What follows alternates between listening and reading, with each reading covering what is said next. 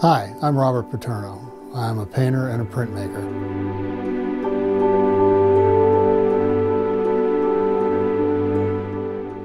I always drew and uh, I always painted later on. I never thought anything of it because uh, I didn't even know anyone was an artist. And uh, when I met my wife at college, she bought me a book, uh, Picasso's Picassos, and I was I couldn't believe it what I was looking at.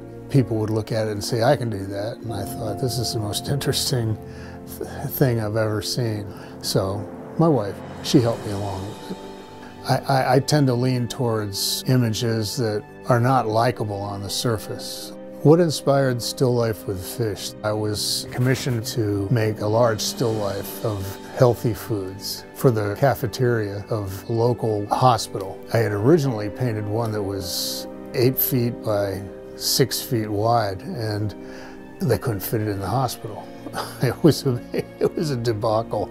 So Still Life with Dead Fish wasn't another version. There were things I hadn't solved. I made it as a grisaille painting, which is a traditional old way of painting uh, black and white or monochrome. So stylistically, very active and exciting brushstrokes and I can control them and sometimes I don't want to control them. Style's the man, is what they say. I would like people to see that it is different than anything else they've seen. Maybe not by much, but just enough to separate me from the pack. As long as they stop and look at it, that's fine with me.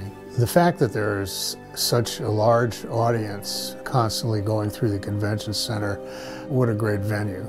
You know, it's like the, the best of Pennsylvania. For me, it's terrific. And I hope it is for the people that look at it.